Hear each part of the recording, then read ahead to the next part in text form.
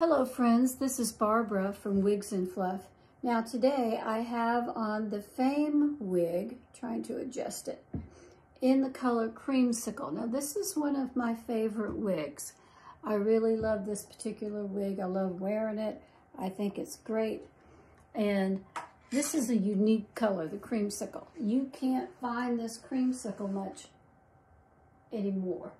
Now this particular Fame is more straight than the honey that I've worn before. It's more straight and it does kick out a little bit, but not like the honey does. I could not find the honey to show you the difference this morning. I'm sorry, I looked all over.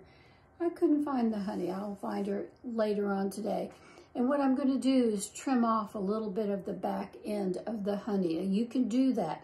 You just put it up on the wig head, get yourself a wig head, a blockhead, and then you can just trim a little bit off. That's all I need is just a little bit because you get this variance in wigs. And I noticed that the honey colored fame tends to kick up lots more. This one is more straight and I like it more straight. I like it to come down straighter in the back. I, I like that better. This one tends to kick up. It, it wants to kick up a little bit, and that's okay.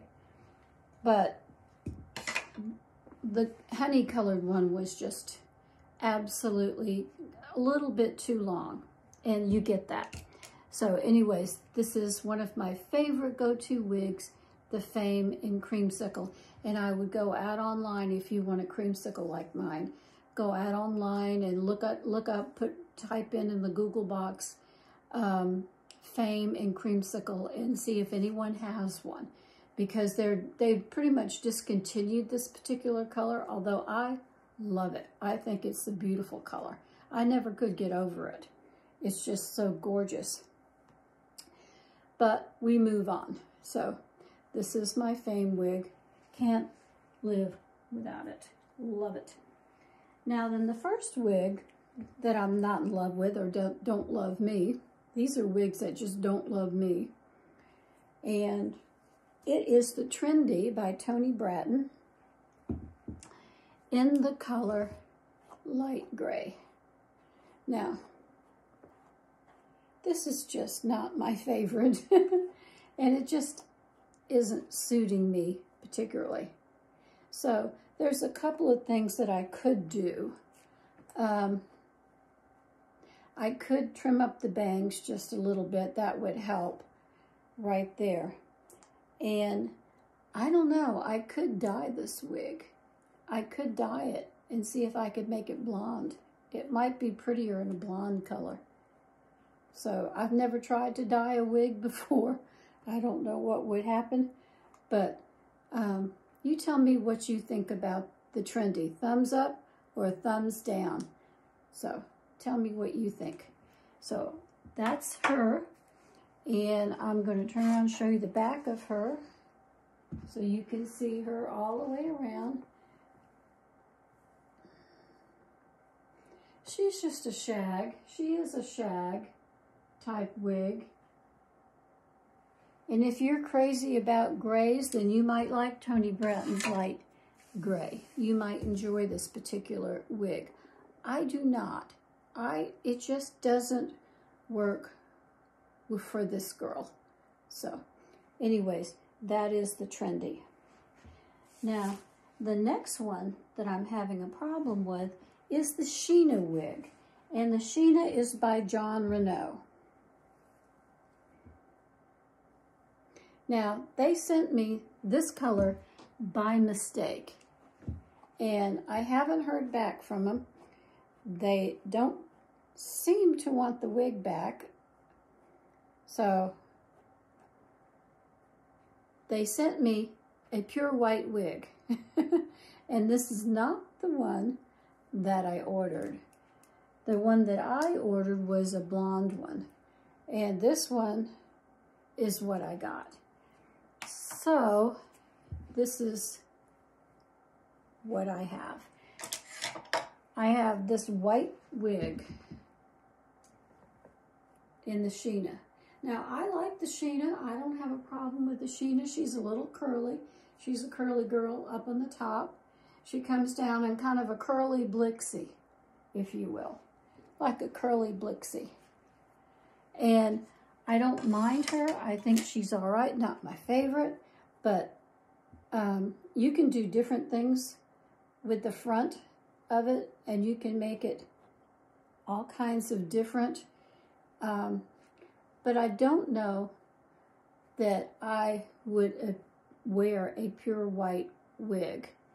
I just don't think it suits me. I think it's too extreme, and I I think it be, might be great on someone who was had dark hair, dark features like dark blonde, dark brown or black hair, and brown eyes, something like that. Maybe blue eyes would look amazing in this particular wig, but it's not for me. This is the Sheena, and this is the number 60. So you tell me, is this a thumbs up or a thumbs down on the Sheena wig? I'm not particularly caring about this one. I don't think this one loves me. I did get the blonde. They sent me the blonde in, and I have showed you that one last day or two. And, um, but they haven't asked for this one back, but this is the one they sent. Sometimes that happens. They'll send you the wrong color. But you tell me what you think about this wig. okay. Now then, moving on. This was another one I might try and dye if they don't want it back, if they're not, if they don't care about it. They haven't communicated with me, so I don't know what they want to do. Usually they will send you um, something you can take down to the UPS office, a little sticker. It's, it's uh, digital, and you just put it, it's on your phone. They send it to you on the phone, and then they take the wig and send it off, and it's no big deal. And it doesn't cost you a dime to return it. Okay, this one here is the Brenda, let me see, by Henry Margu. Henry Margu, the, the Brenda. Now, I have tried this one before, and I have worked with this one before, but I think the color is just too out there for me. I think that this color, it is a like a brazen auburn type color, a brazen auburn. I would I would characterize it as a brazen auburn. She's got some cute bangs. Um, I was thinking it, no, I was thinking it was, it's not lace front. Now this one is a petite also. They sent me a petite when I ordered an average. And um, so the bangs need to be dealt with just a little bit, obviously. But beyond that, I mean, it's a cute hairstyle. The Brenda is a cute hairstyle. Look at that pretty. But the color is a little bit too out there for me. And this side here seems skimpy compared to this side. This side is full and it goes back. This side here seems skimpy. I don't know. But you can bring it forward if you like those little spit curls to the front or if you like it back like that, sleeked back, that's the way you can wear it as well. So what do you think about the Brenda? So thumbs up or thumbs down on the Brenda. I think the color is like a brazen auburn. Uh, the color itself is 131GR, 131GR. It is the petite cap that I'm wearing, which I can wear these caps, but I generally don't because they're too tight on my head. There's some of my bio here sticking out. So, anyways, tell me what you think about the Brenda. If I move my cat, my wig back just a bit, just a bit, maybe these bangs won't be so much in my face.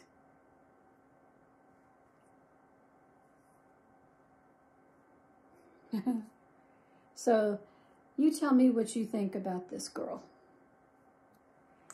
Now then, I want to talk to you about something else.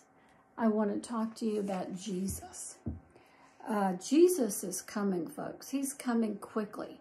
He is coming, and Ram Ramadan is coming 2024 today. Today is the first day of Ramadan, so here we go.